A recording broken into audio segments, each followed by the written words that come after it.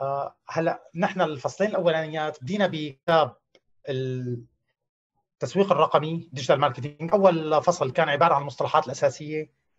الثاني كان هو عبارة عن وجود ويب وخياراته. هلا بدنا نبدأ اليوم الفصل الثالث إعدادات وسائل التواصل الاجتماعي.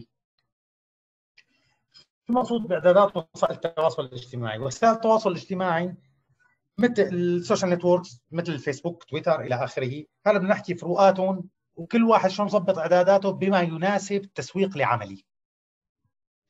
المفروض بنهاية جلسة اليوم نعرف شو معنى مصطلحات التواصل الاجتماعي وكل كل شبكة اجتماعية أو محطة تواصل اجتماعي شو استعمالاتها الرئيسية.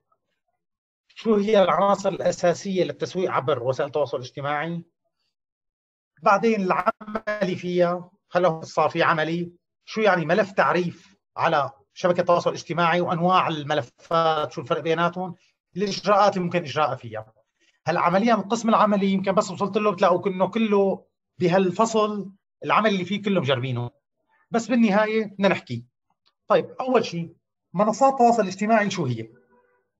منصات التواصل الاجتماعي هي عبارة عن مواقع على الإنترنت بتتيح للمستخدمين إنشاء محتوى وتبادله.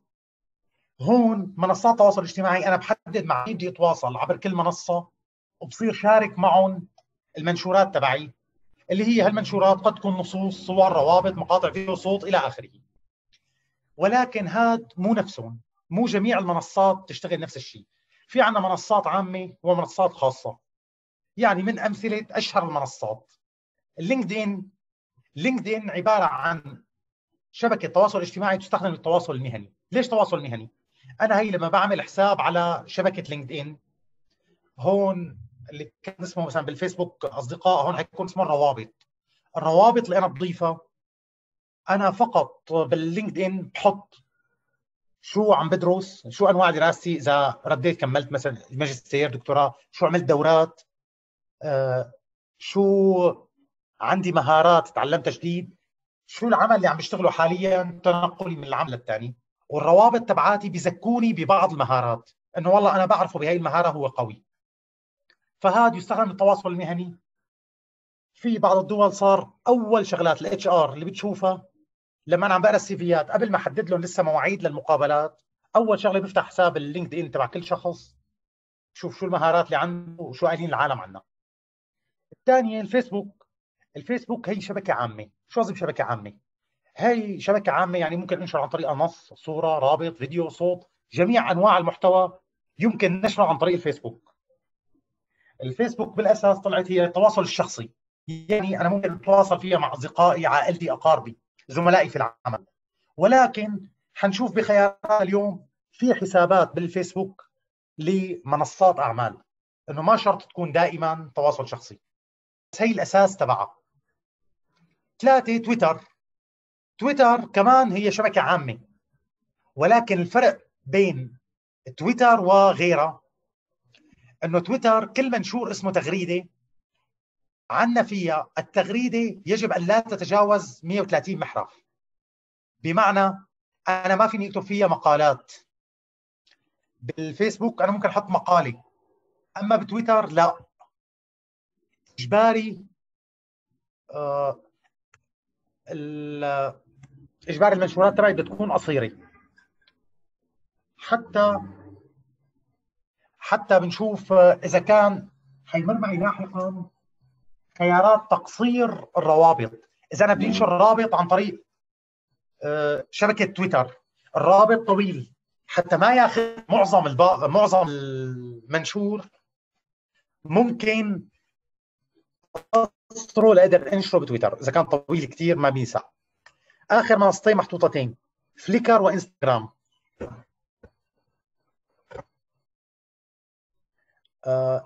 فليكر والانستغرام هدول الاثنين عبارة عن منصتين يستخدموا لمشاركة الصور فقط. اليوتيوب مشاركة فيديوهات. بينما قلنا الفيسبوك بينشر كل شيء. تويتر نص لا يتجاوز 130 محرف اذا بينشر صورة أو فيديو بنشر رابط له بتويتر. هي الفروقات الأساسية بأشهر منصات التواصل الاجتماعي.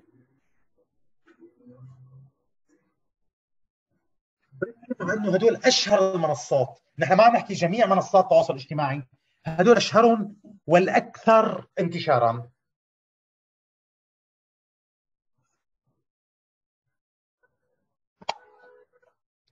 فهي أول شيء أشهر المنصات. بس هن جميع المنصات أكيد لا.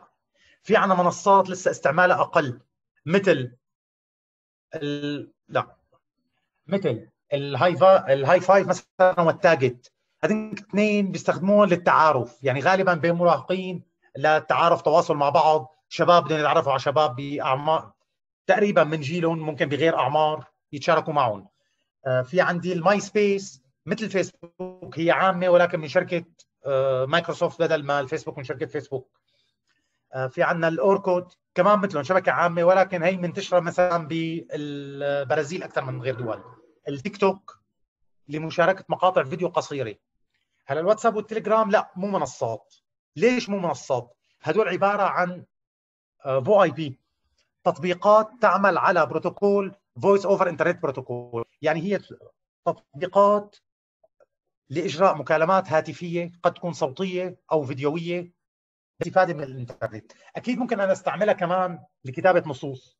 باينترست تمام. هلا هدول كلهم منصات تواصل اجتماعي. ولكن نحن هون هالكتاب اللي ذاكرهم هدول وأكثر واحد مركز عليه الفيسبوك. فيسبوك وتويتر تركيز عليهم أكثر من غيرهم. الباقي ما فيهم الشغلات الصعبه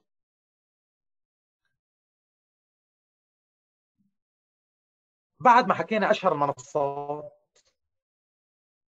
نحن ليش نستخدم وسائل التواصل الاجتماعي؟ بغض النظر هلا قبل ما أبدأ بالمكتوب بشكل عام بيقولوا لي ميزات الصداقة. أنا بس يكون عندي صديق بجتمع معه بكثرة فبعد فترة بلاقي إنه في حتى مصطلحات هو بيستعملها صرت أستعملها بكثرة. فنحن بيأثر حتى أنواع الصداقة بتأثر على الأشخاص على المصطلحات اللي عم نستعملها.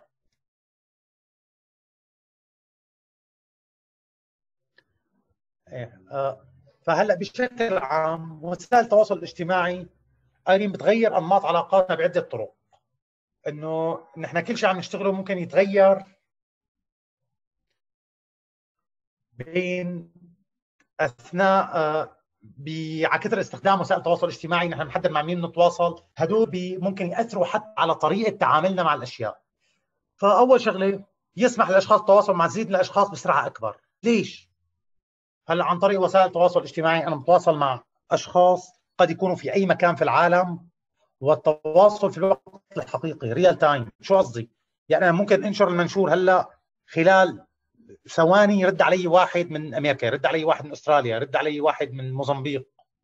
فأول شيء بتواصل مع عدد كبير من الأشخاص وبسرعة كبيرة. اثنين هي الثانية تعتبر من المشاكل تبع وسائل التواصل الاجتماعي إنه سهولة المبالغة في تقدير مستوى العلاقة الحميمية للعلاقات عبر الإنترنت. شو يعني؟ أنا في عالم ما بعرفهم بالحياة الحقيقية. حياتي مو شايفهم. تعرفت عليهم عن طريق الفيسبوك لمفروض برجع بقول فيسبوك لما معموله هلأ هي مثال عن شبكات التواصل الاجتماعي. ما شرط فيسبوك وحصرا فيسبوك. بس إنه تعرفت عن طريق شبكة التواصل الاجتماعي صار أنا بعلق على منشوراتهم هن بيعلقوا على منشوراتي. بعد فترة اعتبرت إنه نشأت صداقة بيني وبينه. ممكن أيام قدرها زيادة. بعتبره إنه والله صار في إذا فيني أطلب منه شخصية. هون هي بده ينتبه الواحد إنه مو حقيقية ومو من مكان فيني أطلب منه أي شيء. إنه واحد عم يرد على منشوراتي ويتفاعل معي على كل شيء عم بنشره. مو معناتها صار صديق مو معناتها صار من عائلتي هون في مشكلة بتأثير مدى التواصل.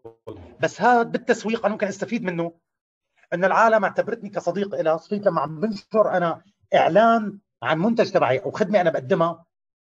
هنا ياخذوها كنصيحة من صديق بدل ما ياخذوها كإعلان. يعني هي الفكرة نفسها. ممكن ننظر إلى كمشكلة وممكن ننظر إلى كميزة لما نستعملها بالتسويق. غيرها يجعل الناس أكثر عرضة لنوع من تأثير العدوى. شو المقصود بالعدوى؟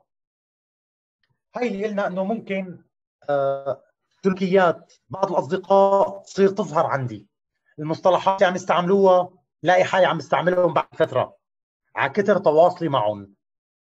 فالعدوى كمان هون بالحياة العامة ممكن نقول هي من مشاكل وسائل التواصل الاجتماعي. نحن هون كتسويق أنا بدي أعتبرها من الميزات. ليش؟ أنا مجرد ما قدرت أبني علاقة شخصية مع عدد كبير من الناس برجع بقول إنه صار الإعلان اللي أنا عم بنشره هنا ما عم ينظروا كإعلان عم ينظروا له كنصيحة. فالعدوى تبعي هون ممكن استفيد منها في التسويق في التسويق. يسهل مقارنة أنفسنا بالآخرين مما قد يكون له آثار إيجابية وسلبية؟ هلا تلاحظوا كل الخيارات فيها آثار إيجابية وسلبية. يسهل مقارنة أنفسنا بالآخرين. أنا بسهولة عم أقول طيب هي الخدمة موجودة عندي موجودة عند غيري. أنا عندي هال ميزة هالخدمة موجودة ببلدي ما موجودة. آه، الخدمات لقيتها عندي بهالبلد سيئة عم شوف حدا أحد أصدقائي ببلد ثاني الخدمة عنده أحسن أو الخدمة اسوء أو فبقارن حالي بغيري. شو الأشياء اللي عم بقدر اوصلها غيري مو قدران يوصلها ممكن هن عم يصلوا لشيء أنا ما عندي إياه. فهي من الأشياء اللي تعتبر لها مشاكلها. آخر وحدة قد يكون له تأثير إيجابي غايه على الأعمال التجارية. يمكن استخدامها لتسويق المنتجات وترويج العلامات التجارية. نحن قلنا هلا حنستخدم شبكات التواصل الاجتماعي بالتسويق. نحن هون هذا شغلنا فيها. أكيد ما بيحطها التعارف وبناء صداقات.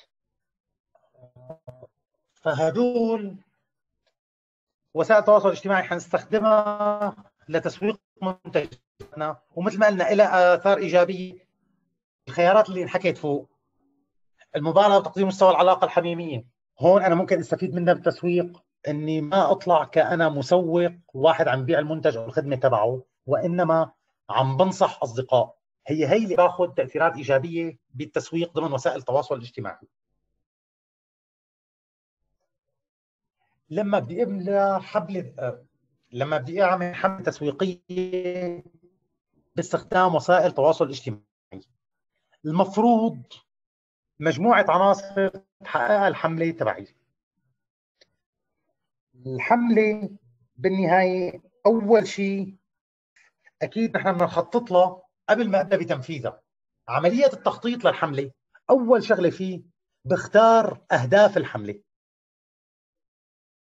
اي الاهداف يجب أن تكون SMART SMART مو كلمة ذكية وإنما مكتوبة كلها أحرف كبيرة capital letters لأنه اختصار من خمس كلمات specific measurable attainable relevant time bound شو يعني؟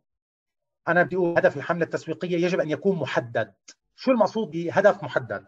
الهدف المحدد قدران حدد شو هو بالضبط. مثلا أنا عم حط هلأ آه، صور نشاطات قمنا فيها بالشركة.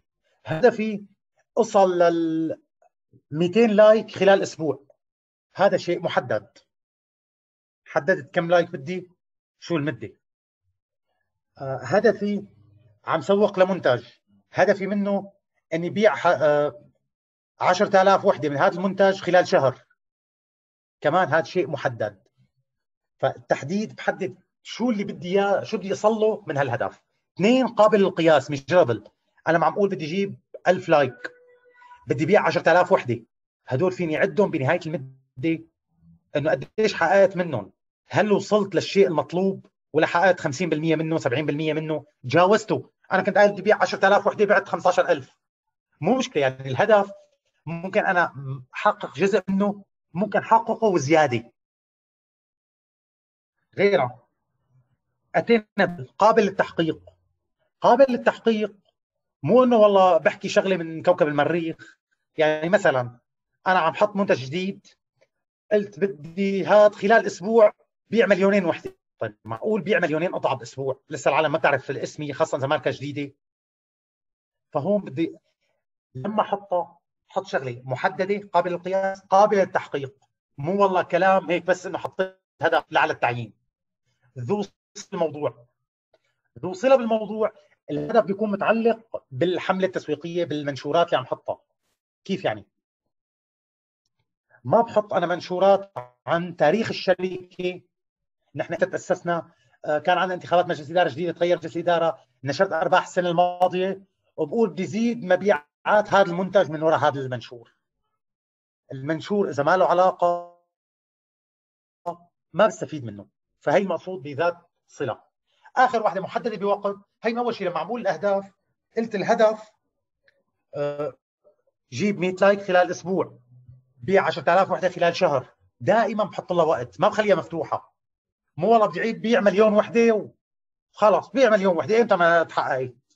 هذا الحكي غير غير واقعي. أنا بحط مدة مشان بعدين بشوف هل تحقق الهدف تبعي ولا لم يتحقق. فأول شيء أهم شيء صياغة الأهداف. صياغة أهداف الحملة المفروض تحقق هالخمس شروط. كل هدف ولاحظوا عم نقول أهداف. يعني ممكن ما يكون أنا عندي هدف واحد من الحملة. هدفين ثلاثة خمسة. كل هدف فيهم بده يكون هدف محدد وقابل للقياس وقابل للتحقق وذو صله بالموضوع محدد بوقت بعد ما حددت أهدافي بختار المنصات المناسبة. شو قصدي بالمنصات المناسبة؟ هلا نحن هون نحن عم نحكي عن شبكات التواصل الاجتماعي.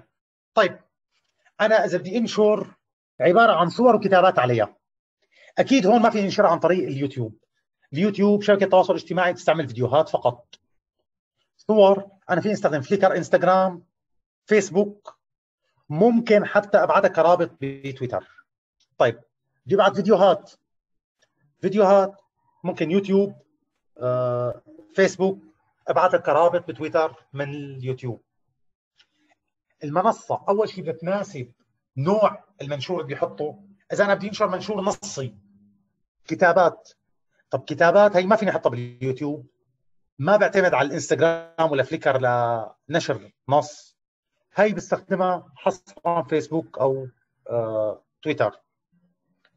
بس ما بكفي المنصة بس على نوع المنشور. اثنين على نوع على الجمهور المستهدف. كيف يعني؟ مثلا أنا عم عندي منتج بدي سوقه لمراهقين. طيب مراهقين غالبا مراهقين ما بيستخدموا اللينكدين كوسيلة تواصل اجتماعي. ما فيني أختار لينكدين للتواصل معهم. متقاعدين ما فيني أختار لينكدين له الا اللينكدين منصة أعمال غالبا بيستخدموها الاشخاص بسن العمل اللي بين فترة وثانيه بغيروا أعمالهم من شان أول شغلة بتنشاف قبل مقابلات العمل. فالصغار كثير كبار كثير ما. ما بيستعملوا هالمنصة كثير المنصة يجب أن تلائم جمهور المستهدف ونوع المنشورات اللي بدي احطها ضمن الحملة تبعي. ثلاثة تخطيط أنشاء المحتوى المناسب.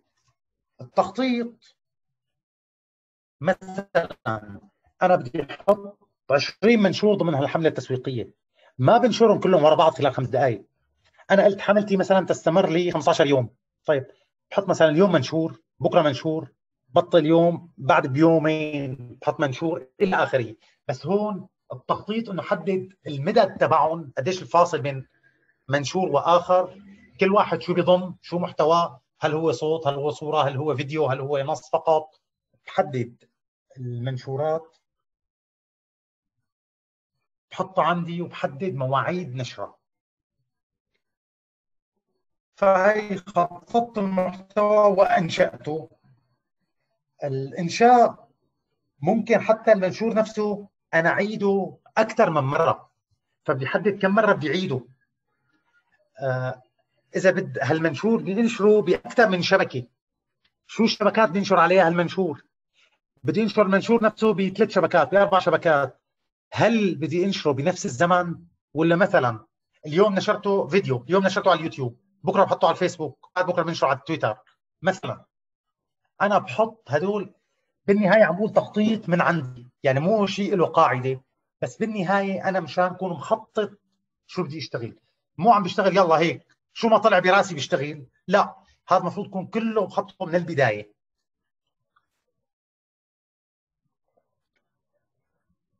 بس داعي دائما من ناحية التخطيط وإنشاء المحتوى إنه المحتويات بوسائل التواصل الاجتماعي. عادة أنا بقسمها ثلاث ثلاث ثلث المحتويات تستخدم للترويج. أنا بروج للماركة التجارية تبعي أسماء منتجاتي. آه، أنا عندي هالمنتج بيعمل هالشغلة. هي ما بحط كل منشوراتي ترويج وإنما الثلث فقط. الثلث الثاني بحط آه، قصص أو أفكار لأشياء متعلقة بمجال عملي. ممكن شركات صديقة. شركات تعمل بنفس المجال. متكاملة معي. بحط انه أحط هنا منشورات. آه، شخص استخدم منتج من عندي مع منتج من شركة ثانية شو وصل لفائدة زيادة عن لو استخدم منتجهم لحاله ومنتجي لحال. إلى آخره. هدول بختار قصص بالثلث مو هي تسويق كامل ل آه، محتوياتي وإنما الأشخاص المؤثرين بهالمجال. وجربوه. رواد هذا المجال. شو عندهم قصص أو أفكار للتحسين؟ لو ما عندي المنتج. مثلا آه، أنا عم بيع هلأ آه، موبايلات. لو فرضنا الموبايل أنا هلأ إذا طفيته أول عم بشعله عم ياخذ 20 ثانية. اجى واحد قال نحن بنفضل لو الموبايلات تصير اقلاع يطلع خلال خمس ثواني. هي قصة هو عم يحكي عنها. أنا ممكن انشرها وأقول نحن حنحط بالخطط اللاحقة نحاول بعد نحط نصل بمنتجاتنا لهالميزة. ولكن ما شرط تكون عندي هي قصص حول المواضيع التي تهم أو متعلقة بمجال العملي الثلث الأخير هي التفاعل المقصود بالتفاعل. هي مخصصة لتعليقات الأشخاص التواصل معهم. كل مين جرب المنتج أو الخدمة تبعي شو عنده ملاحظات إذا جيدة ولا سيئة يشاركها معنا. إذا عنده ملاحظات سيئة مشان نتلافاها نرد عليها. إذا عنده ملاحظات جيدة من شان هو نشرها قدام العالم كلها يشوفوا شو ميزات منتجي هذا كله بيتعلق بتخطيط وإنشاء المحتوى المناسب. بعدها يجب إنشاء حملة تعقب أو حملة تتبع. شو المقصود بحملة التتبع؟ مثلا أنا قلت الحملة التسويقية تبعي الهدف منها اوصل لمبيعات بيع. 10000 منتج خلال شهر. طيب أنا ما بستنى والله يخلص الشهر. أنا قايل 10000 بعد شهر طلعت بعد شهر حالي بايع 700 معناتها هون فشلت الحمله التسويقيه تبعي بشكل كبير. حملة تتبع أنا قايل خلال شهر ممكن أقول خلال ثلاث ثلاث أيام بدي اخذ تقرير شو صار تفاعل معها هي ناجحة ولا لا.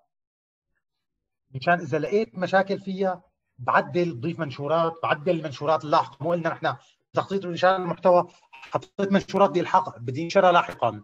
ممكن لقيت مشكلة بأول منشور اتلافاها بالمنشورات اللاحقة. فهي فائدة حملة التتبع. هي حنشوف بعدين في هلأ آه برامج هي شغلتها. مثل هوت سوت أو في مجموعة برامج. أنا بشترك بأحد هالبرامج لتراقب لي الحملة التسويقيه تبعي. وآخر شغلة تقييم أداء الحملة. تقييم أداء الحملة هي إنه أنا بس انتهيت. أنا كنت قايل حملتي لمدة أسبوع لمدة 15 يوم لمدة شهر. خلصت هالمدة. كنت حاطط أهداف. تشوف هي الأهداف أنا شو حققت منها. هل حققت الأهداف بشكل كامل؟ تجاوزت الهدف المحطوط. حققته زيادة. ولا حققت 10% منه 20% منه اللي هو. ليش؟ إذا كنت أنا محقق أهدافي بشكل كامل فمعناتها حملتي التسويقية كان تخطيطها سليم. وفيني اتبع نفس الأسلوب في التخطيط بشكل دائم للحملات التسويقية.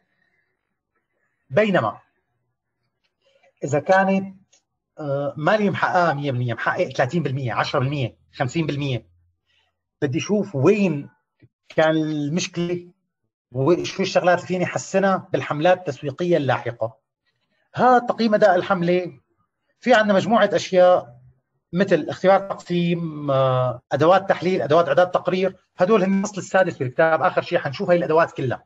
يعني تقييم الأداء هو آخر شيء التحليلات والرؤى تهدف لتقييم أداء الحملة. بس هي العناصر كلها جميع هذه العناصر أنا بحطها من شان تكون حملتي التسويقية متكاملة العناصر واقدر اقيمها بالنهايه أعرف هل هي نجحت أو لا. لهون في شيء أسئلة؟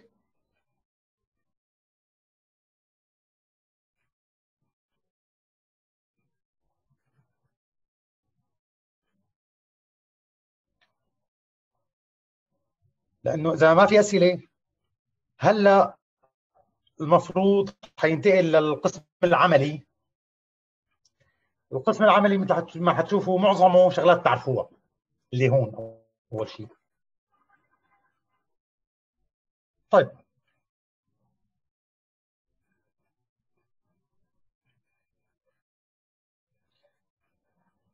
قيود على المشاركة. هلا هون قيود المشاركة شو قصدك فيها. قيود المشاركة أكيد بقيد الحملات إذا كان في قيود بس القيود شو هي؟ غالبا أنا بحسابات الأعمال مثلا خليني آخذ كمثال فيسبوك. أنا آخذ عم بعمل حملة تسويقية على الفيسبوك. نشرت منشورات. بنتبه إنه منشوراتي تكون عامة. ما بحطها فقط للأصدقاء. ليش؟ أكيد هلا بنناقشه النشر على الفيسبوك. ليش ما بحطها للأصدقاء؟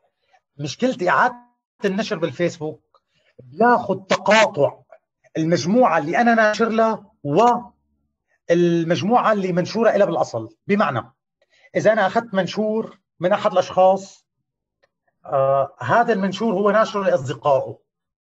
أنا عدت نشره إذا عدته لأصدقائي ولا عدته عام. بياخذ المشترك. إذا عدته لأصدقائي بياخذ بس الاصدقاء المشتركين. عنده وعندي بيشوفوها.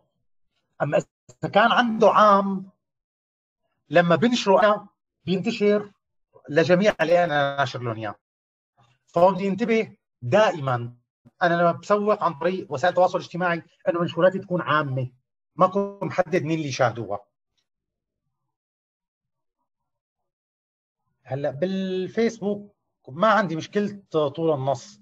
لو طول كثير بكملوا بتلاقي فيه continue reading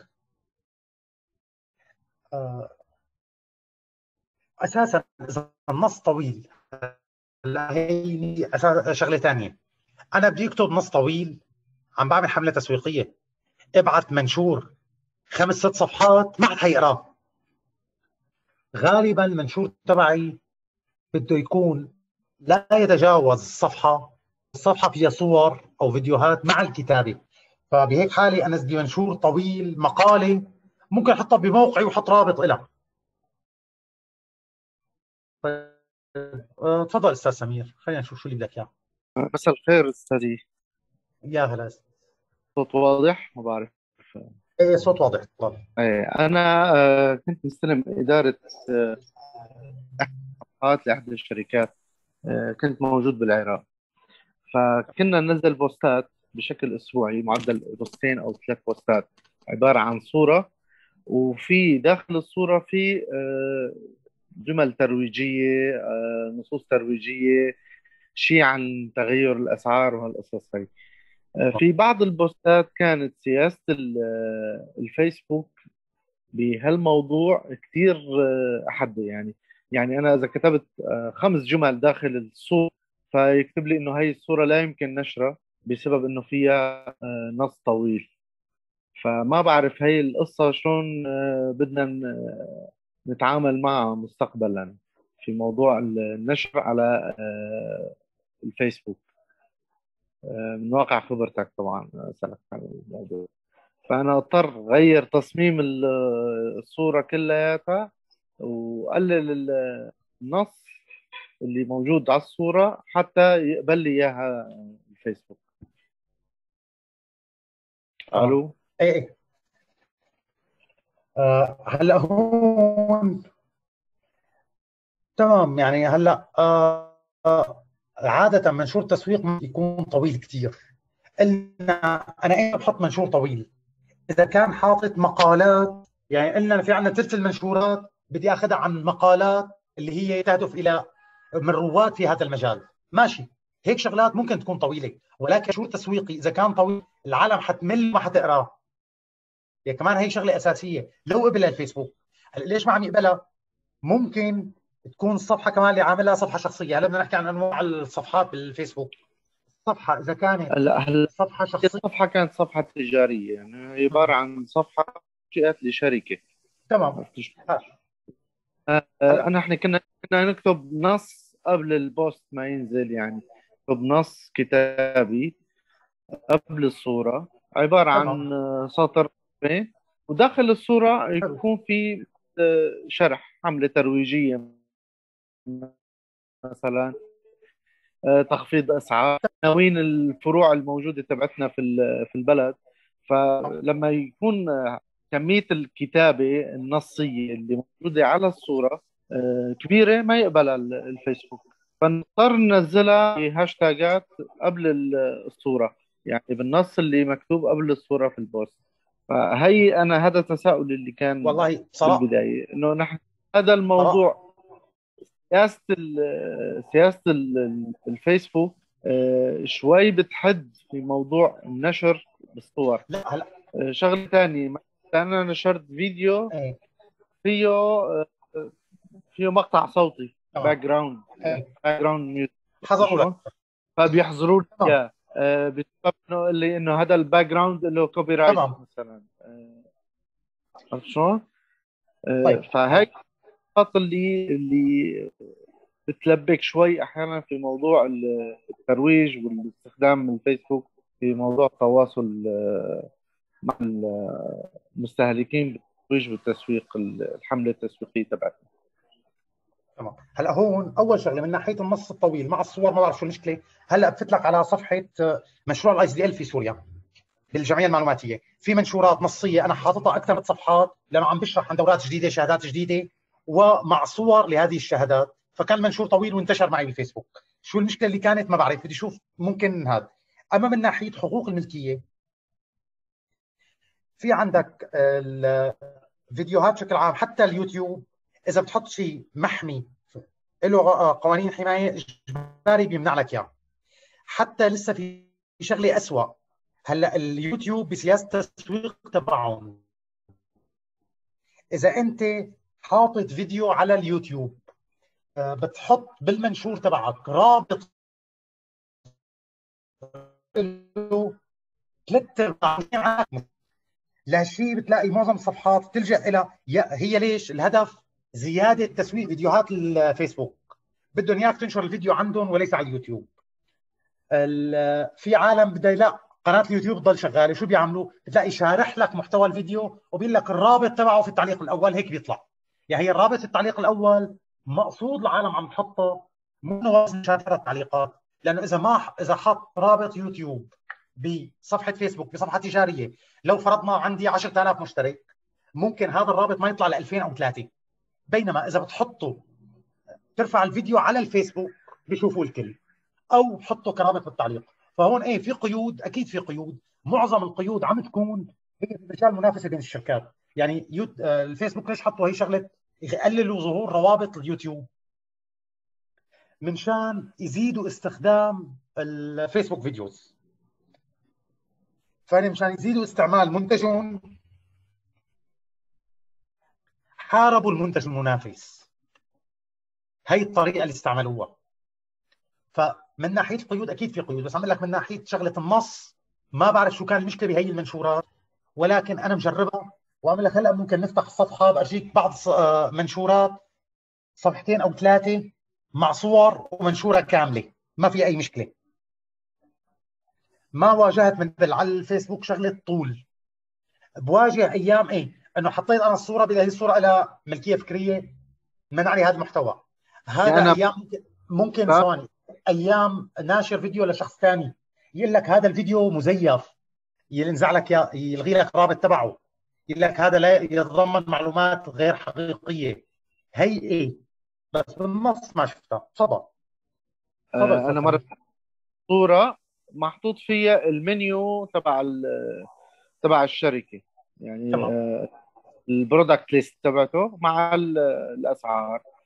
فرفض لي إياها ما ما وافق يعني هو عبارة عن عبارة عن أربع صفحات تقريبا.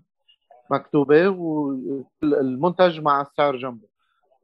فالقائمة شوي طويلة فكتب لي إنه النص طويل لا يمكن نشره خلال ال post هذا. أنا أنا بنقول لك الشيء اللي صار معي. نحن الغاية من من طرح هالفكرة إنه نحن نعرف شو المقيدات اللي موجودة بالفيسبوك ونحسن نتحايل عليها أو نتعامل معها بطريقة تتوافق مع الشروط اللي لازم نتبعها في النشر على الفيسبوك. هي هاي الغاية من آه، طرح الفكرة. أكيد. آه عمل لك أنا من ناحية النص ما بعرف بس هون ممكن بسبب الصورة يعني تقول لي في صورة آه، منو. طيب هلا هون بيعتبرها هي كمان حقوق ملكية فكرية. أول شيء بدك تثبت إنه أنا هي الصفحة تابعة لهذا المطعم أو هذا المحل أو كذا. ونحن عندهم لا شيء نحن سامحين بنشرة. إيه. صفحة الشركة نشرت عليها المنيو بس هي أول شيء بدها تكون الشركة أنت حامية حاطط شعار الأزرق. يعني بعت لإدارة الفيسبوك شيء يثبت إنه في صفحة عن جد لهي الشركة. إذا هن أيوه. إذا هن مو ماكدينها اعتبروا هي ملكيه لهذيك الشركة. بركي أنت هلأ أنا بعمل هلأ صفحة فيسبوك بسميها وزارة التربية. بتخليني صفحه فيسبوك. تمام. وبنشر. تيجي على لك والله صفحة وزارة التربية نشرت هيك. طيب أنت تأكدت عن جد هي وزارة التربية؟ هي طيب هي مزيفه هي كيف بدنا نعملها هي القصة إنه نحن مثل ما بنعمل تسجيل في في Google search. نعمل تسجيل في الفيسبوك. بس يعني هدول اول أول شغلة آه في عدد للمشتركين ما نذكر الحد الأدنى بده يكون عندك 2000 3000 مشارك عشان تتأكد من الرقم. إنه في رقم بده يكون حد أدنى تبعت لإدارة فيسبوك صور عن تراخيص الفعالية تبعك مع اسمها أيوة. مع هلا أنت رابطة أكيد إدارة صفحة الفيسبوك مربوطة بشخص. طيب هذا الشخص شو صفته بهالهيئة؟ بدي كمان ورقة مختومة بختم الشركة إنه هذا يعمل عنا بالتسويق كذا. تبعت لهم صور ممسوحة على سكنر. بهي المستندات بتلاقي طبيعي بيراسلوك بيطلبوا كم شغلة زيادة للتأكد إنه والله مو ملعوب فيها سكنر الوثائق. بس تأكدوا منها بتلاقي على صفحتك على الفيسبوك طلع هاي شعار صح الزرقاء. التي تعني إنه هي الصفحة مؤكدة إنه هذا الاسم عن جد هو صاحبها. وقتها أي شيء فيه اسم الشركة ما حيمنعوه تمام. شكرا لك أستاذي. يا هلا أستاذ سمير. هلا. إذا ما في أسئلة نتابع بالفيسبوك. هلا بالتواصل الاجتماعي في عندنا شيء يدعى الملف الشخصي. الملف الشخصي هو حساب مستخدم فرد أو شركة أو مجموعة على منصة التواصل الاجتماعي يعني بالفيسبوك أنا بس بفتح على صفحة فيسبوك بدي له أنشئ حساب. أول شيء بعمل حساب هي الصفحة الشخصية. ما بيطلب مني شيء غير اسمك كنيتك إيميل أو رقم تليفون كلمه سر بدك إياها. انعمل للشركة حنشوف بعدين بعمل شركة أعمال بنفس الطريقة ولكن بضيف لها الشركة اسم الشركة عنوانها رقم تليفونها إلى آخره. آه، مجموعة. هذول بدنا نحكيهم. هذا بشكل عام حساب الفرد أو الشركة أو المجموعة يدعى ملف تعريف. بالملفات تعريف ضرورية للعلامات التجارية. مو والله أنا بيجي باسمي الشخصي. أنا عامل شركتي مسميها شركة ABC ما بيجي والله أنا عم سوق لها بصفحتي على الفيسبوك صفحة يوسف حجازي عم سوق ل ABC لا بعمل صفحة تابعة ل باسم النشاط التجاري الخاص فيني. ملف التعريف بيعرض معلومات عن نوع علاقات الفرد مع الآخرين. شو يعني؟ هون لما بنحكي بالشركات بنحط مستوى مشاركتهم مساهمتهم في مختلف مبادرات مشاريع مجتمعات محادثات سمعتهم. شو يعني؟ أنا بشركتي مثلا اجيت عم بدعم هلأ آه، جمعية. إحدى الجمعيات. مثلا جمعية التميز في كفاءة اليتيم رحت أنا عم بدفع لهم تبرعات دائمة هن يصرفوها ب لرعاية ايتام بدفع لحفظ النعمة بدفع لكذا. بس بحط إنه نحن في شراكة بيننا وبين هالمؤسسة. ما ضروري أقول قديش تبرعت. هي مو دعاية. انه والله أنا عم بدفع. ولكن فيني أقول نحن عم نرعى بعض الخدمات. طبيعي ما بقولها كمنشور تسويقي. أنا عم برعى هدول. بحط غالبا رسالة شكر من هدول. أن نشكر هدول لمساهماتهم. وبنتبه ضروري إنه ما ينحط شو قيمة المساهمات أنا ما هون مو والله بدي لهم قديش عم بدفع. شوفوني أنا بشتغل خير. غير هيك أنا آه، راعيت أحداث رياضية. عملت بطولة كرة قدم لفرق محلية. بحط بصفحتي إنه أنا قمت برعاية هذا الحدث الرياضي. فاز فيه فلان وزعنا الجوائز. هلا هو ماشي. حدث رياضي فيني أقول؟ وزعنا جوائز للفريق اللي أخذ المركز الأول اللي هو هذا الفريق. الفريق اللي أخذ المركز الثاني الفريق اللي أخذ المركز الثالث إلى آخره. هدول بيحددوا مساهمة الشركة في المجتمعات.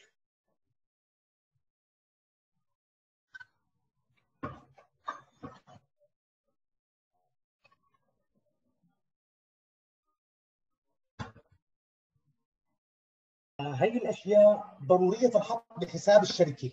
نحن شو عم نساهم؟ آه، بالخيارات المجتمعية. تنميه المجتمعات التنمية قد تكون تبرعات قد تكون تدريب. أنا مجال عملي هلأ آه، جمعية إدارة موارد بشرية. أنا بالنسبة لي عم زود تدريب مجاني لعدد من الأشخاص. ممكن أحطها بصفحتي. آه، أشخاص بالبحث عن عمل وبلاقي انه يلاقوا أعمال تناسب خبرتهم ودراستهم و هي الأشياء بحطها بملفي الشخصي مشان العالم تعرف إنه والله أنا مو بس هدفي ربحي 100% في شغلات عم برعاها. هي دائما تعتبر من مجال دعاية المبطنه حتيجي بعدين السبونسر الرعاية. بمجال الرعاية تعتبر لما أقوم برعاية أي شيء. له فائدة للمجتمع. هذا يعتبر دعاية ولكن دعاية مبطنة. أنا ما عم بدفع إعلان إنه شوفوا منتجاتي. أنا ما ذكرت منتجاتي. حطيت الماركة التجارية تبعي تقوم برعاية هدول بالتبرع لهدول. بس هيك نشرت الاسم تبعي. مشان العالم بعدين لما بده يحط إعلان يقولوا والله هالاسم صار اسم منيح. هالاسم بيتعامل مع هدول. إلى آخره.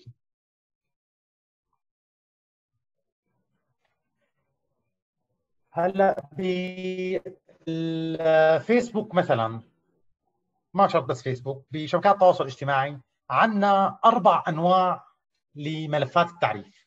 في فرق بيناتهم وهالاربع أنواع لشو يستخدم كل واحد فيهم.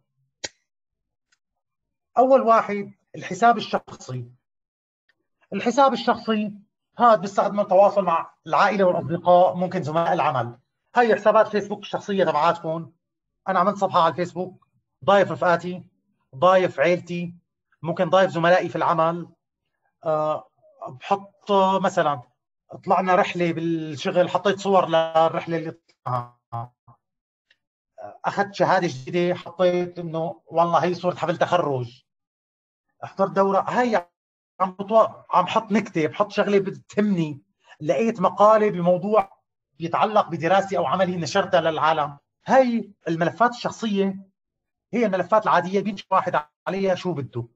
هون ما عندي قيود بالنهاية شغلة شخصية. بس هون الأساس فيها يمكن تحديد مستوى الخصوصية لتتعامل مع خصائصك شو يعني؟ أنا هون مثلا بصفحتي الشخصية. حاطط آه حاطط منشور معايدة بالعيد.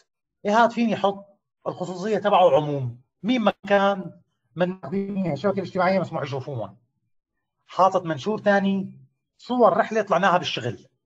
هاي ممكن ما بدي كل العالم تشوفها بدي بس أصدقائي اللي أنا بعرفهم اللي هن أو ارتباطاتي على الشبكة الاجتماعية اللي هن قد يكونوا أصدقاء زملاء أقارب. فهي بنشرها فقط للارتباطات موجودة معي على اختلاف أسماء الارتباطات. ليش عم بقول ارتباطات؟ هي باللينكدين اسمها روابط بالفيسبوك اسمها أصدقاء. بتويتر اسمها أتباع باليوتيوب اسمها مشتركين إنه كان لها اسم. ولكن هدول روابط بشكل عام شو ما تسموا؟ بحدد مستوى خصوصية. في لسه أيام مثلا آه نشرت إجاني ولد جديد. هي حتى ما بدي كل ما بدي زملائي يشوفوها. ممكن حدد إنه هي والله بس أفراد العيلة ورفقاتي المقربين يشوفوها.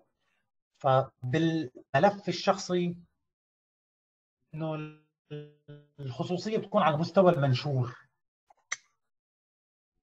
كل منشور بحط له خصوصية شكل بما يتلائم مع هدف صفحتي مع معارفي مع العالم اللي ضايفهم كأنها كروابط بهالصفحه شو بدي يشوفوا. النوع الثاني ملف الأعمال. هذا نحن بنركز عليه كتسويق. هذا بتستخدمه الشركات والشخصيات العامة. الشركات أي شركة بدها تسوق لمنتجاتها تعمل حساب على شبكات التواصل الاجتماعي بيكون حساب اعمال وليس حساب شخصي. والشخصيات العامة ممثلين سياسيين إلى آخره. هدول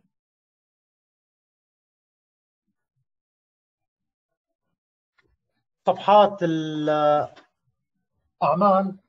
بنتبه إنه غالبا معظم المنشورات بحطها عامة. ما بدي انشر والله منشور يشوفوه 100 مشترك و200 مشترك و1000 مشترك. أنا بالعكس بدي العالم إذا ردت نشرته وشاركته مرة ثانية كل ما زاد عدد اللي عم يشوفوا المنشور اللي عم حطه أحسن. زياده دعايه إلي كشركة كشخصية عامة. فهون هون آه بالأعمال غالبا بدي أحط المنشورات عامة. بملفات الأعمال في خيارات ما موجودة بالملفات الشخصية مثل خيارات الإعلانات وخيارات التحليلات. هدول الإعلانات شو هي التحليلات الإعلانات انه بدي له أنا بدي يطلع إعلان منشور إعلان مدفوع مأجور للمنتج تبعي هذا صفحات تعمل مجال واحد اثنين ثلاثة مو بصفحتي. بحدد له صفحات شو المجالات اللي تشتغل فيها. بصير يطلع إعلاني بصفحات أخرى. الصفحات الشخصيه ما فيها خيار إنه أنشئ إعلان وطلب اداره فيسبوك تنشر لك اياه بصفحات حدد أنواعها. اثنين تحليلات. تحليلات مثلا بالفيسبوك حيكون اسمها رؤى. تحليلات والرؤى هي اللي ح... يحلل لي كل منشور قديش عدد الأشخاص اللي شافوه قديش عدد اللي تفاعلوا معه.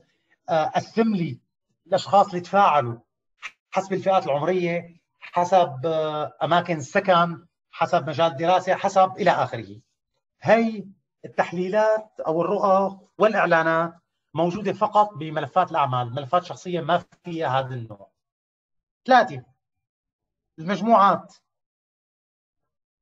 المجموعات عادة كل مجموعة بتحط مجموعة أشخاص عم يتواصلوا بشيء مخصص حول فكرة ما اهتمام مشترك لهم كل مجموعة لها خصوصية خاصة فيها. أنا ممكن أعمل مجموعة عامة بتشوف العالم كلها ممكن أعمل مجموعة خاصة ما بشوفوا منشوراتها غير حصرا أعضائها أه، حتى أنا بحسابات الأعمال أيام بضطر أعمل مجموعة كمان مثلا لزبائني. شو السبب؟ بيفرق التواصل عن طريق صفحة الأعمال عن تواصل عن طريق المجموعة. في شغلات تفرق مثل شو؟ مثلا أحد العناصر اللي ممكن أنا أساويها بالفيسبوك إني أعمل بول استبيان. بحط سؤال ومجموعه إجابات حدد الإجابة الصحيحة. إنه كل واحد يحدد الإجابة اللي بتعجبه. ممكن احطها أنا بسبب مسابقات ممكن احطها استبيانات لشوف شو رأي العالم بمنتجاتي ممكن لأي سبب. بس بدي أحط هيك استبيان. الاستبيان لا يمكن إنشاؤه بالفيسبوك مثلا بصفحة شخصية ولا بصفحة أعمال. يمكن إنشاؤه فقط في المجموعات. فلا شيء أنا حتى لو عندي صفحة أعمال يفضل أعمل مجموعة وكل فترة بنشر اسم المجموعة بصفحتي. أنا بندعو المتابعين الجدد نحن في عندنا هي المجموعة نتواصل فيها حول كذا. يا ريت انضموا لها كمان. النوع الرابع من أنواع ملفات تعريف. هي الأحداث ايفنتس شو الحدث؟ الحدث أنه نحن بدنا نعمل حفلة بهالتاريخ. بدنا نعمل تكريم لكذا. بدنا نعمل آه، مؤتمر افتراضي اجتماع اونلاين اللي عنده أسئلة يدخل على هذا الرابط يشارك معنا. فبالحدث أنا بحط نوع الحدث مكانه تاريخه وقته. وبدعو الأشخاص عليه مشان يشاركوا فيه. إذا كان هو حضور فيزيائي أعطيهم مكانه إنه كونوا بهالمكان يوم كذا الساعة كذا لتشاركوا ولا إذا كان افتراضي إذا كان افتراضي بعطيهم رابط تبعه والوقت تبعه مشان يشاركوا فيه. شوف شو عندهم. هدول أنواع ملفات التعريف في شبكات التواصل الاجتماعي ومثل ما شايفين غالبا بالأعمال أنا حأضطر أعمل الثلاثه الثانيين صفحه ملف تعريف أعمال ملف مجموعة وأحداث. الشخصي لحاله الباقي غالبا بعملهم كلهم.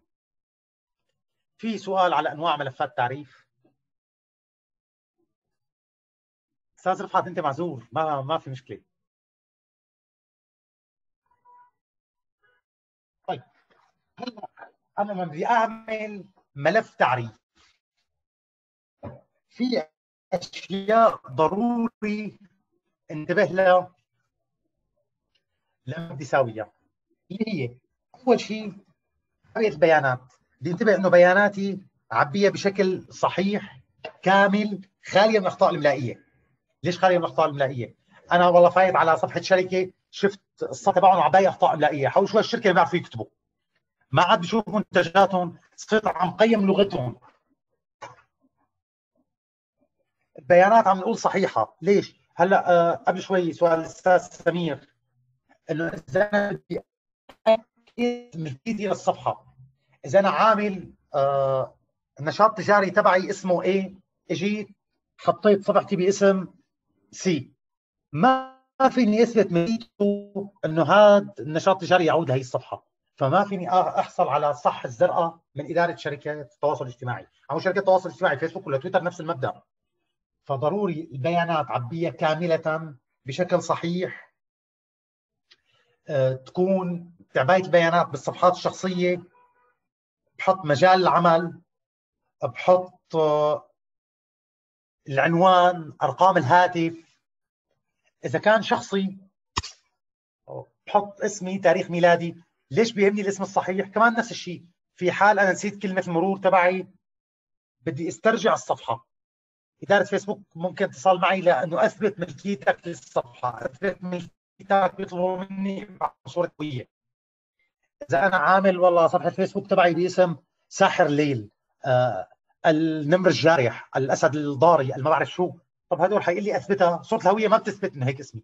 إذا نسيت كلمة سر راحت علي الصفحة. فلهالسبب دائما بنتبه أول شيء بجميع أنواع ملفات التعريف بيانات تكون صحيحة شاملة دقيقة خالية من اخطاء املائيه اثنين الصورة الشخصيه الصورة الشخصية بدي انتبه انها تكون واضحة ما تكون مبرغلة دقتها ضعيفة تكون دقة تبعها جيدة آه، واضحة. مثلا آه، هلا خليني صفحه شخصية. ما بيجي بتصور والله أنا لابس بيجامة حاططها. أي واحد بفوت على صفحتي شو هذا ما له مهتم إنه والله يكون لابس أواعي مرتبة لما طالع بالصورة؟ بالعمل ممكن يجي أنا الصورة الشخصية ما تكون صورة حاطط اللوجو تبع الشركة بس كمان بدقة جيدة. ثلاثة اربط حساباتك ببعضها. شو يعني اربط حساباتك ببعضها؟ أنا عندي صفحة آه، موقع إنترنت ويب آه، website عندنا حساب على الفيسبوك عندنا حساب على LinkedIn عندنا حساب على تويتر عندي آه، حساب على الإنستغرام عندي قناة على اليوتيوب. بصفحة فيسبوك بذكرهم كلهم. بقول إذا بتحبوا تزورونا نحن عندنا كمان صفحة الويب عنوانها كذا حساب إنستغرام هذا حساب تويتر كذا. نفس الشيء بهذيك الحسابات بتويتر بذكرهم كلهم بالإنستغرام بذكرهم كلهم باليوتيوب بذكرهم كلهم بحيث إنه إذا واحد فات على أي حساب شبكة اجتماعية عندي يعرف جميع حساباتي الأخرى بالإضافة لموقعي ال website الخاص فيي بعدها ابقى على تواصل. بمعنى مو إنه والله أنا بس فاتح صفحتي للنشر.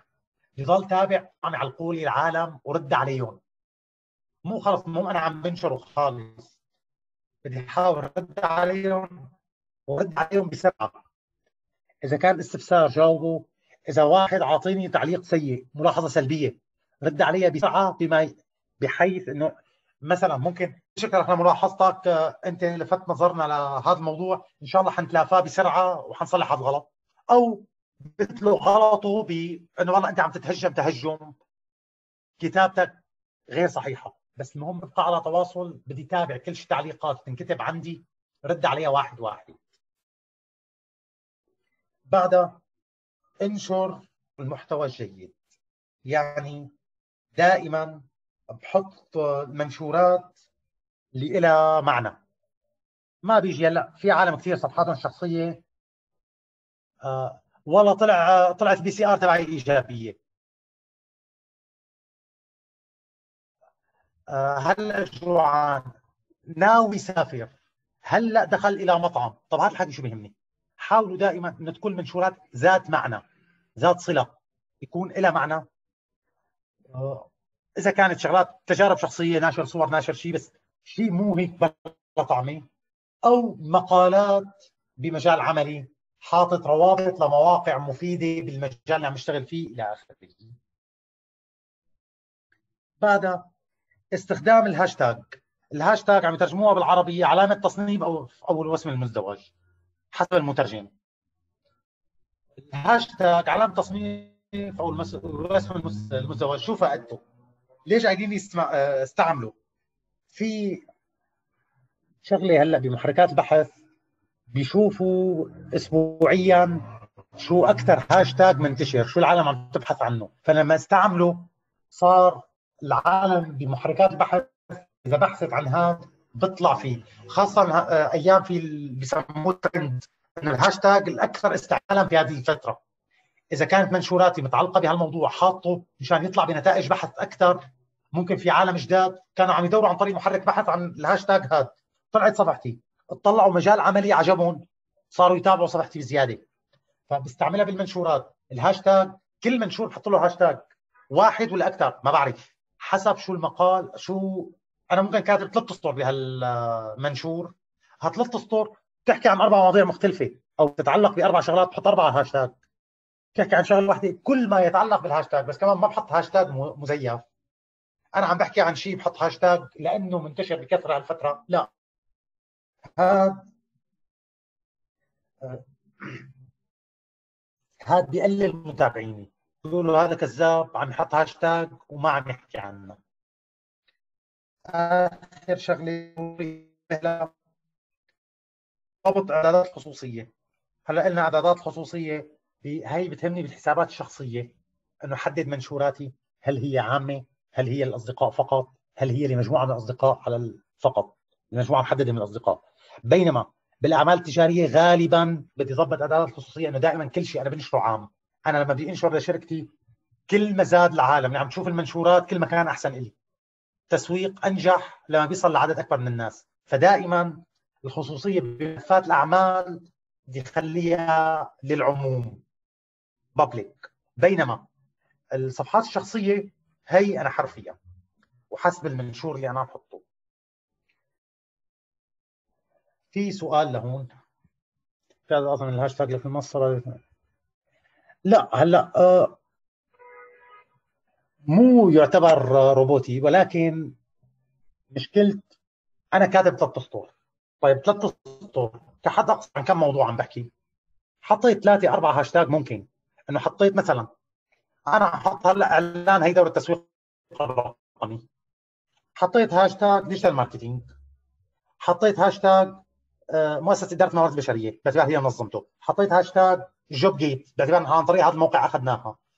ممكن حطيت هاشتاج لل ICDL باعتبار هي لها امتحان ICDL بس أكثر من هيك شو بدي أحط هاشتاج ما عاد لها علاقة بهالفكرة. أي شيء ثاني عم حطه صار سلبي. بحط الأشياء اللي تتعلق بالمنشور. فالعدد الاعظمي هون بيتعلق بالمنشور نفسه. أنا كاتب منشور صفحة ممكن يصل الهاشتاج عندي للسبعة ثمانية. بس غالبا ما بيكون أكثر من هيك. يعني كمان بدي أحط له 30 هاشتاج ولسه هو الأحسن بالهاشتاج لما عم بكتب مقال تكون الهاشتاج ضمن النص مو بآخره. يعني الكلمة اللي بدي اكتبها مثلا لو فرضنا أنا بكتب هالشريحه اللي قدامي بال PowerPoint أنا بدي كلمة الهاشتاج تطلع. بحط قبل رمز الهاشتاج بحيث إنه هي ضمن النص تبعي. مو حاططها بآخر الصفحه هاشتاج كذا هاشتاج كذا هاشتاج كذا. هذا بالعكس بيرفع تصنيفي أكثر لما تكون الهاشتاج مضمنة ضمن المنشور نفسه مو محطوطة بنهايته.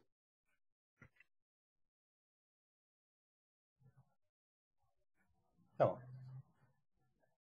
في سؤال ثاني. طيب.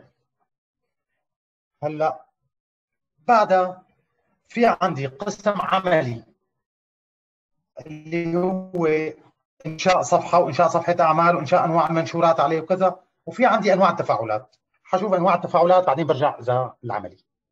ملفات تعريف الوسائط الاجتماعية تحتوي على اسم أنا شو المجال اللي عم بشتغل فيه؟ شو اسم الشركة؟ حطيتها. اسم المستخدم. شو بيفرق؟ اسم العمل أو عن اسم المستخدم. اسم العمل اسم الشركة أو المؤسسة أو النشاط التجاري الخاص فيني.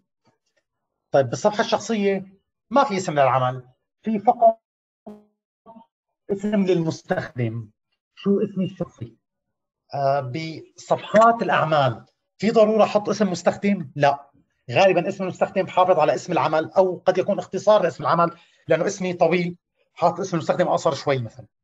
صورة شخصية. قلنا قبل ضروري تكون صورة شخصية واضحة بدقة جيدة آه، محتواها جيد. رابط الموقع ب آه، صفحات الأعمال. ضروري يحط رابط موقع هالشركة ليش عم صفحات الأعمال؟ أنا ممكن كحساب شخصي أنا ما عندي موقع أساسا على الإنترنت فما في شيء اسمه رابط موقع. سيرة شخصية. هي وين ضرورية؟ بالحسابات الشخصية. سيرة شخصية شو المقصود فيها؟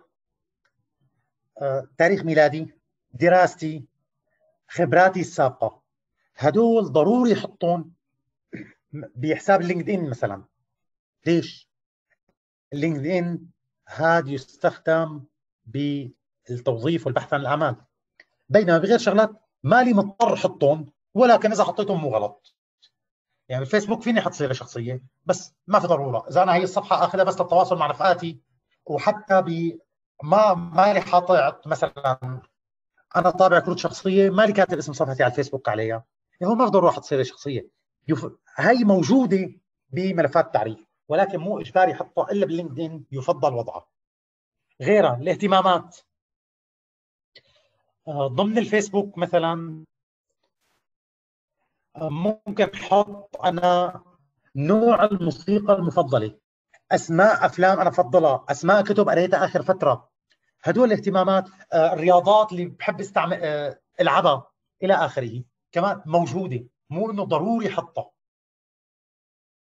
هلأ الخلفية الخلفية هون ضروري بصفحات الأعمال حافظ على صورة خلفية بكل منشوراتي تتناسب مع الهوية البصرية للشركة.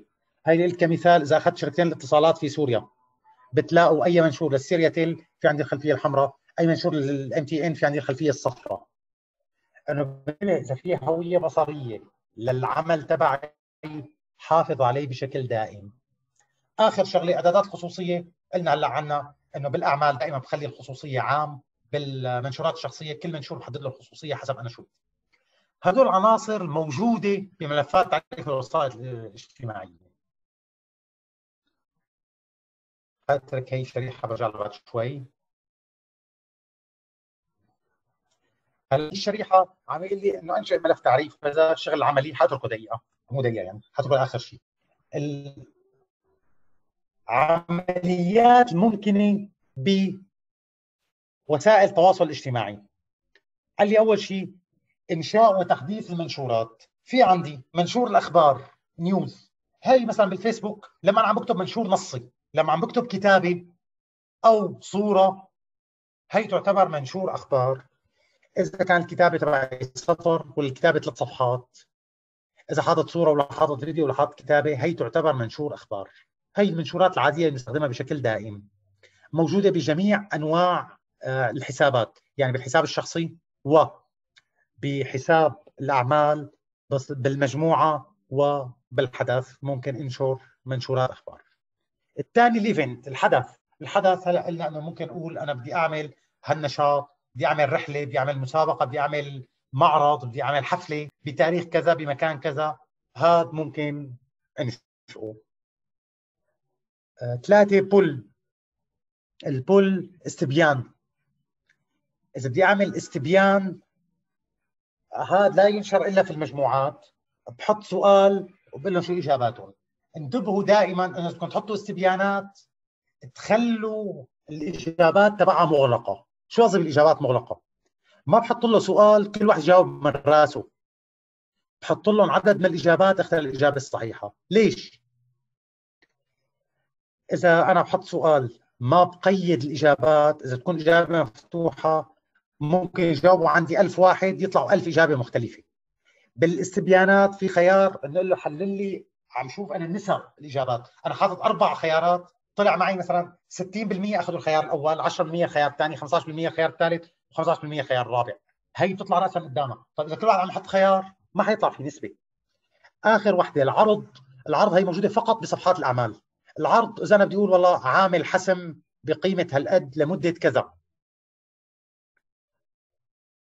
أو عامل عرض اللي بيشتري هذا المنتج بياخذ معه مجانا المنتج الثاني هذا هدية. إلى آخره هي العروض. هلا هدول العملي هون اللي ذاكرينه بالكتاب؟ هذا انشاء ملف آه، تعريف شخصي انشاء ملف تعريف أعمال تعديل بياناته ثم انشاء أنواع المنشورات المختلفه هي انشاء منشور أخبار وتعديله وحذفه انشاء حدث تعديله وحذفه انشاء استبيان تعديله وحذفه انشاء عرض تعديله وحذفه. هلأ ما مشيت العملية عم كمل نظري قبل العمليات الموجوده بوسائل التواصل الاجتماعي شو هي؟ أول شيء بوست المنشور. المنشور لما أنا عم بنشر شيء. إذا كتبت شيء إذا حطيت صورة إذا حطيت فيديو هي كلها منشورات. اثنين التعليق. التعليق. طيب إذا ما بدي هي هون مذكورين بعد كتابة. اول واحد التحرير هو المقصود فيه النشر. النشر طريقة نشر محتوى. أي شيء أنا جاء على بالي انشره إذا كان معلومات كتابة صور فيديوهات مقاطع صوت روابط. إذا كان جيد ولا سيء. لما نشرته يدعى منشور. هذا المنشورات ضروري انتبه شو عم بنشر. لأن أنا مجرد ما نشرته العالم شافته. أنا بعد ما نشرته فيني عدله فيني عدله. إذا كان فيه أخطاء أملائية فيه شغلات مسيئة بدي أحذفه. طيب في عالم شافته قبل. أنا ممكن خسرت بعض الزبائن اللي شافت هذا المنشور قبل ما أعدل عليه أو أحذفه. فضروري راجع المنشور قبل ما انشره قبل ما أوافق عليه. اثنين تعليق comment. التعليق أي منشور بوسائل التواصل الاجتماعي في خيار يردوا العالم عليه يعلقوا بيكتبوه بأسفل المنشور تبعي. تعليق ملاحظة مكتوبة تعبر عن راي أو رد فعل على منشور. قد تكون ملاحظة أو صورة أو رد يدخل المستخدم أسفل المنشور. هلأ هذا مع إنه هو وسيلة رد على المنشور هو مقياس مشاركه المنشور. ليش؟ في عندي شغلات أساسية بعد النشر. تعليق مشاركة الإعجاب. هدول الثلاثة بيحددوا لي قديش صار في تفاعلات مع المنشور تبعي. زائد أنا إذا منشوري عام إذا في شخص مشترك بصفحتي إما وجد بالمنشور أو علق عليه أو شاركه أي واحدة من الثلاثة بيظهر هذا الحكي لجميع أصدقائه. لو كانوا هن مو مشتركين عندي بالصفحة. فهون أنا بيهمني لزيادة المشاركة المنشورات التي تحفز العالم على كتابة تعليقات عليها. يعني ممكن بين وقت والثاني حط سؤال مسابقة. آه، حط مثلا بس أكيد بحيث ما تكون شغلات تافهة وبحاول دائما هي المسابقات أو المنشورات التي تحرض على التجاوب تكون تتعلق بمجال عملي. مو تكون أي شيء ما دخلوا بمجال العمل. بعد المشاركة شير. المشاركة يمكن لأي شخص مشاركة المحتوى الموجود في وسائل التواصل الاجتماعي مع اصدقاء والعائلة والجمهور المستهدف يمكن مشاركة المنشورات التي تم انشائها مسبقا يمكن تكون مشاركة مقياسا لمشاركة الجمهور كلما زادت عدد المشاركات في منشور أو تعليق زاد عدد الأشخاص الذين سيشاهدونه تعد المشاركات أحد أكثر أنواع المشاركة شيوعا خاصة الشركات تشير ان القارئ يشعر بارتباط بدرجه كافيه بمحتوى العلامة التجارية. شو يعني؟ المشاركة أنا هون الشخص مو بس حثيته على إنه يكتب تعليقه، حثيته إنه أعجب زيادة باللي أنا كاتبه خليه ينشره يرد يشوفوه كمان. أصدقائه لو ما مشاركين عندي بالصفحة. بس هي آه بدي انتبه لشغلة إنه إذا كان المنشور تبعي أنا ناشره للأصدقاء فقط أو لأعضاء الصفحة فقط.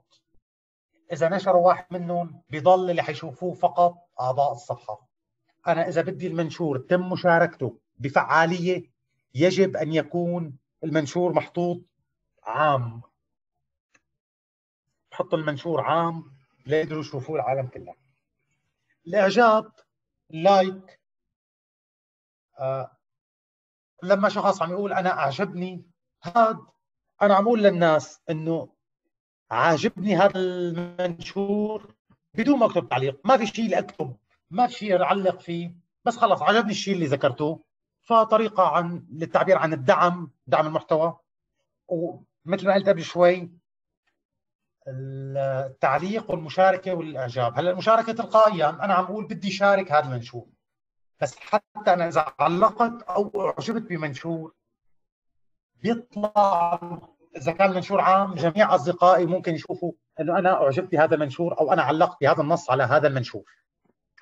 فهدول ضروريات لزيادة المشاركة. يفضل بمنشوراتي تكون محفزة تحض على زيادة التعليق والإعجاب والمشاركة. حتى هلا الإعجاب حاطين لها خيارات مختلفة. إنه في بس أعجبني في سمايلات في قلب في لا يعجبني إلى آخره. على فكرة لما تعلق لي على منشور حتى لما تحط لي الثمب نازل لتحت إيد واحد رافع ابهام بس حاطه لتحت إنه لم يعجبني. مو مشكلة. المهم انجزت لي انتشاره التعليق إذا كان إيجابي ولا سلبي عم يزيد الانتشار. بس أكيد أنا بدي انتبه التعليق السلبي بما قد يؤثر على العمل تبعي بدي احاول إتلافاهم. هي عم تزيد النشر اي عم تزيد النشر. بس بدي انتبه شو إلى آه، ردود أفعال. في عندنا لسه إجراءات ضمن وسائل التواصل الاجتماعي. الإشارة أو المنشن ذكر الشخص. لما بحط رمز الات هي غالبا أنا إذا حطيت صورة فيني أحط تاج هي بسموها الاشاره منشن أو التاج للشخص اشير للشخص إنه هذا معي بالصورة. آه أنا حاطط نشاط قلنا قمنا الأسبوع الماضي بإجراء تقييم لهي قام بإجراء تقييم فلان وفلان. بحط تاج للأشخاص اللي شاركوا معي بهالعملية. فهي ليش؟ بتطلع هالإشارة عن هذاك الشخص انه فلان اشار لك بهذا المنشور بتحب تطلع كمان هذا المنشور بصفحتك ولا لا؟ فاذا قال له إيه؟ طلعت باللي موجودين بصفحتي واللي موجودين بصفحة كل شخص عملت له tag أو أشرت له. الهاشتاج علامة تصنيف أو الوسم المزدوج. لما بدي أحطه بحط رمز هذا المربع الهاشتاج. بعده بحط الكلمة. هذا يستخدم لفهرسه الكلمات الأساسية أو الموضوعات. ليش؟ في كثير عالم آه، بتبحث في محركات البحث عن رموز الهاشتاج إنه شو في شيء يتعلق بهالفكرة. وفي هاشتاجات تنتشر أكثر من غيرها حسب الزمن. شو صفيان عندنا هون؟ post نشر comment تعليق share إعادة النشر like عجبني tag الإشارة أو ال mention hashtag في ال follow. ال follow ما مذكورة. طيب ال follow المتابعة هلأ بال مثلا بالتويتر الارتباطات تبعاتي اسمه متابعين. أنا بشوف أي شخص شو بينشر بتابعه بس بقول له follow بينما بالفيسبوك ال follow كمان نفس الشيء. هلأ الصفحة في عندي خيار like هلأ على الصفحة ما عم بحكي عن منشور. أنا فتت على صفحة في خيار like أعجبني في خيار follow متابعة. شو هذا شو هذا؟ أنا لما بحط أعجبني لصفحه ما تلقائيا صار منشوراتها بتطلع عندي. اضطريت فيها هيك بالتخجيل. صاحب هالصفحه رفيقي قال لي أعجب بهي الصفحة. أعجبت فيها بس ما عجبني شيء من منشوراته. ما في مشكلة. في خيار اسمه المتابعة. إذا بقول له إلغاء متابعة بصير أنا صحيح نظريا عنده أنا عضو بالصفحة ولكن أي شيء بينشره ما بيطلع عندي. فنحن هون لما بدنا نقيس قوة صفحة حنشوف بدي قارن بين عدد المشتركين وعدد المتابعين. إذا كان عدد المتابعين أقل من عدد المشتركين يعني في عالم ملت من صفحتي. بيشوف إذا هذا العدد الأنفولو عم يزيدوا. نشوف شو المشكلة بمنشورات الصفحة؟ اتلافاها مشان استرجع أو زيد دباين. فالمتابعة أنا بتابع صفحة لشوف شو عم ينتشر فيها أو تابع شخص حتى. حتى هلأ من ناحية صفحات شخصية بالفيسبوك.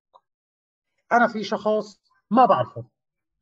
بس والله قالوا لي عجبتني منشوراته قالوا منشوراته حلوة. فبعثت له طلب صداقة ما وافق.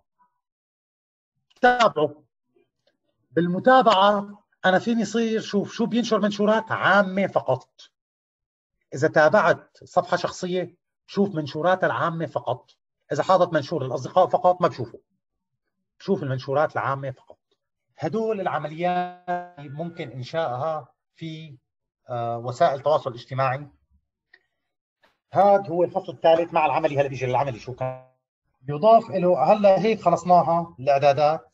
في عندنا الجلسة القادمة الأسبوع القادم إن شاء الله إدارة وسائل التواصل الاجتماعي. نشوف هدول الخيارات شلون بحطهم شلون بقيمهم شلون بتابع كل منشور شو صار عليه إلى آخره. نشوف الإدارة بقى. هون في معه عملي. المطلوب. عمل ملف تعريف. بعمل صفحة. بحررها ضبط بيانات الاتصال. الفئة تبع العمل. ضبط صورتها. بكتب سرد عن شو بتحكي